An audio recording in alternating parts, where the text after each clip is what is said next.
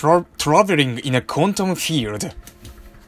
A field in physics in any quantity that has a value for any given point in space. For example, a magnetic field has a strength at all points near a magnet, which you can measure by, uh, the, by the effect it has on it has on small pieces of iron. The Earth has a gravitational field defined at any given point, which can be observed by its its effect on any piece of the matter placed at that point. It keeps our boat firmly on the surface of the sea and makes the rainfall downwards from the clouds above. Indeed, without gravity we cannot even define down and up. Sure, a quantum field takes this idea of the field into the realm of the very small. Ho. Back to the experiment with the laser. The, the two slits and the detector and the quantum field can describe what is going on. The magnetic of the quantum version of the electric and magnetic fields tells us how likely we are to define uh, how, how likely we are to find a photon present. This quantum field spreads and travels like a wave.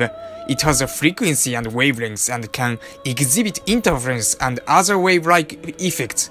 But it is telling us the probability of the particle, a photon, being present at any given place.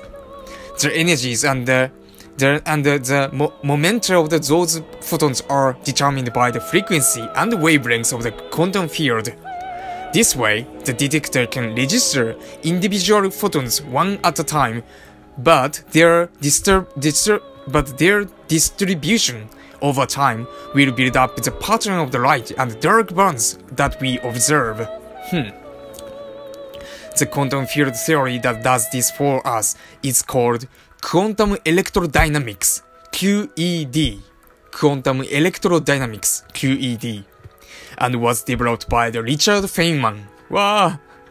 Julian Sch Schwinger and Shin Ito Shin Ito Itiro Tomonagara. Ah, Shinichiro Tomonaga. okay, I got it. Uh, Japanese, of course. In the 1940s, the name is descript descriptive. Descriptive. The theory treat the, the theory treats light as carried by the photon, a quantum, but describes the motion of the electric, electric and magnetic fields, electrodynamics. It constituent it constitutes the first solid component of the what became the standard model of particle physics, and uh, we will see a lot more of it in, on our travels, as well as describing the uh, apparent con contradictions of our experiments. The concept of the quantum field has uh, has even more to offer. Sure. Hmm. The electrons are also excitations in the quantum field. Really? As such, they also have wave-like properties. These wave-like properties are seen in the interference experiments just like uh, the one we carried out above the for photons. It will turn out that these properties are also what is needed in order to understand the interior of atom land. When we get there, the chemistry of the elements, sure. Quantum field theory also explains the double meaning in the longitude scale of the map we have started to draw on our travels. As we go from left to right, west to east, we also go up in energy and down in size. This seems odd. High energy means high mass, which usually means bigger. It is true that uh, in everyday life, heavy things are often, thought not always, bigger than the light things. But for fundamental particles in the quantum field theory, it is the, it is the other way around. High energy corresponds to a high frequency, which corresponds to the short wavelengths. Ah! High energy corresponds to the high frequency, which corresponds to the short wavelengths. And as we saw in the harbor, the wavelengths, det wavelengths determines the smallest thing that can be observed. Thus, to observe smaller object, more energy is needed. And this means there is a sense in which the object we observe we, we, we discover as we travel east, which have higher and higher masses, are nevertheless are smaller and smaller than the object to the we- to the west. Wow, really? Whoa.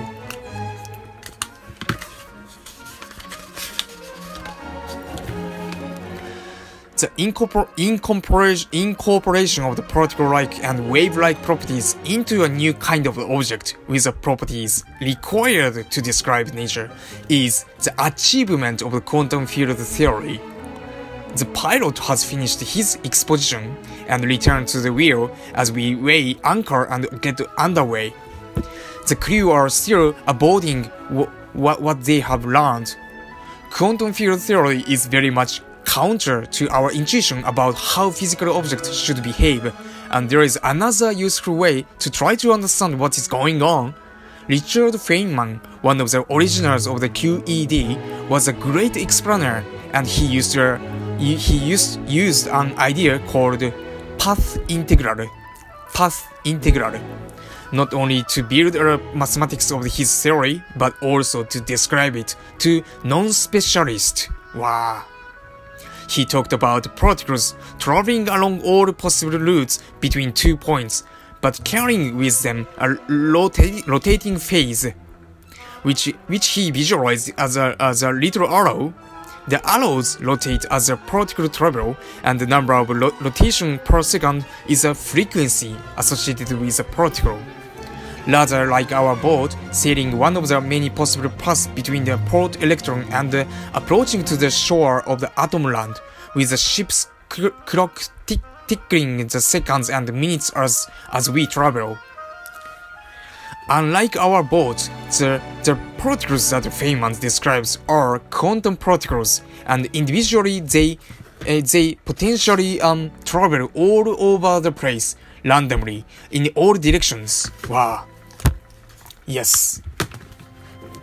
To calculate the probability of the particle actually getting from place A to another position B, quantum field theory says that all the possible routes between A and B have to be taken into account. Wow. Every possible way a particle could leave point A and arrive at P, B, point B has to be summed up to get the actual probability of the particle getting there. If that seems weird, well, it is.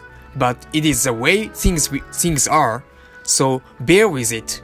This is where the quantum quantum in, indeterminacy indeterminacy of the very small things enters in. This summing all summing over all paths is called path integral. Wow. Wow. The key is that the sum takes into account the direction of the arrows. Remember the arrows rotate as the particle move, like the hand of the clock, like the hands of the clock on our boat. So so so for routes so so for routes of the of differing lengths of the arrow, uh, so, so for routes of the differing lengths the arrow will in the general be pointing in the different direction by the time the particle gets to B. Wow. Because it will have had more or less time to rotate. Ho ha. The direction of the arrow is like the height of the wave in the harbor. If two arrows point in the same direction, they add up to a single longer arrow. But if they point in the opposite direction, they cancel each other out and the sum is zero. This is where this is where the wave-like aspect comes in. Whoa! Wow, vector! Wow! Because this cancelling is just like a peak and a trough of the waves arriving at the same time, cancelling each other out, and leaving the seagull in peace. in general, there are so many possible routes for A to B, including one where particles changes mass and even routes that go backwards in time.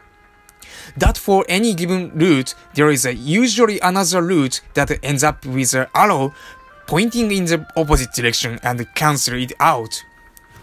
It is it is possible to pair up routes like like this and uh, show that the that they make a little or no contribution to the final probability of the pro, uh, particle arriving at B. The only place where this doesn't work is for paths which are close to the shortest possible path between A and B. This is a route where the particle undergoes the fewest number of turns of the, its arrow as, as it travels, and all the possible routes similar to this one will have arrow pointing in the same direction. Because arrow are pointing in nearly the same direction, they add up, and the net result of summing over, over all the paths is dominated by these few passes, adding up together strongly, while all the others cancel each other out. Wow! This this tells us this tells us uh, that most likely the way particle will behave, and what the chances are of making it from A to B. If we obstruct the shortest path, for example, by the screen by the screen with a slit in, in it in our experiment, we have to redo the sum. Hmm. The path integral and uh, we get new behavior which includes the interference patterns and diffraction and other wave-like effects, exactly as observed. Wow. Um, making the calculation this way gives results that are agree with the measurements that include not only these wave-like aspects, but also particle-like aspects such as a photoelectric effect. This is a lot of this is a lot to absorb, and absorb, and the crew go about their various tasks with uh, thoughtful looks on their faces. Once the pilot has been uh, has seen us out of the bay and departed. Mm. In the land, we are explore, exploring the object we will encounter are not really waves or particles in the, in the way we think of the, those things in the everyday life. But then, why should why should they be? Why are sailing into new territory? We will continue to use the word particle and particle physics, but it is as well to remember that we will not be encountering a particle as we know them. They are excitation of energy in a quantum field. Again, they are excitation of energy in quantum fields. The quantum fields the quantum field is all preserve uh, the quantum field is all pervasive in our current understanding of the map of physics. It is now the ocean surrounding and connecting the different landscape of physics we will explore. The boat is just a boat of course and behave like a big particle, not a quantum excitation.